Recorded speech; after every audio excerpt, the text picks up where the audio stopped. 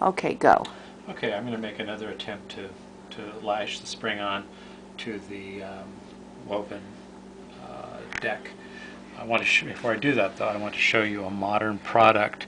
It's been around for about 75 years. It's a very handy product as far as lashing springs to a woven deck. They're little prongs in a gun. I have a handle here that I'm going to just push it and you can watch how it forces these prongs outward. Can you see that? Yes. and then it pushes it completely off. And that's what you're seeing here on the uh, deck. Now I've cheated a little bit because this is not what someone was able to do, an upholsterer was able to do back in the 1870s or 1880s. They were having to either position them by hand and then and then lash them, or find some other strategy to pin them. So I've I've cheated a little bit and just set these, but I don't want to leave them in because it's not it's not traditional upholstery, and um, so I, it gives me the opportunity to just keep the springs in position while I'm able to do a traditional hand lash. And you also don't use this uh, in conservation when you have old webbing and you are doing a museum piece. That is absolutely correct. This is only for restoration. So I have my um, my um, needle already pulled through, and we'll catch the backside in a moment. But you can see I'm pulling the string through, and I'm going to go on the other side of the orbit, and I'm going to push it back to the other side, and then I'll recreate a um, a um, slip knot and hold the. Um, Okay, we're coming around. Okay, you're seeing the backside. And I'm doing these, this one exactly the way I've done the other courses of springs, what you're seeing up above. I'm going to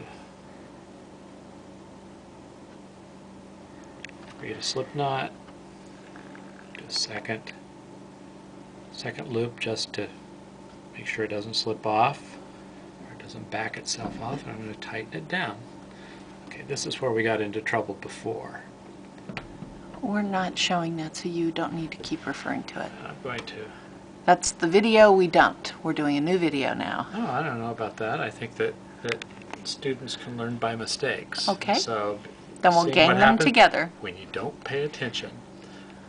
Okay, I'm coming around again. Okay, Sorry for the blur, guys. here we go. I've already pulled the string through, And this time we're avoiding, avoiding having it pulled through the orbit and pulling the spring down. That's for later.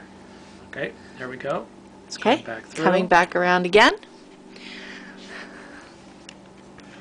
And now I'm going to create once around counterclockwise, once around clockwise, and pull my thread through. And this is wax thread, by the way, so it gives a little tension going back the other direction to where it can't slip off.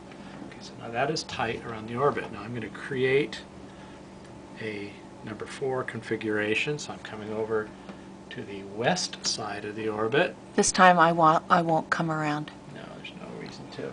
And by the way, I'm what I'm tr- hunting for is to go through two courses of webbing at one time, so that I have additional strength for these knots. So I'm avoiding sections, making sure that my intersecting points for these orbits are in a position where where there is um, at least two layers of, of uh, webbing. Okay. Pull it through. And then come back.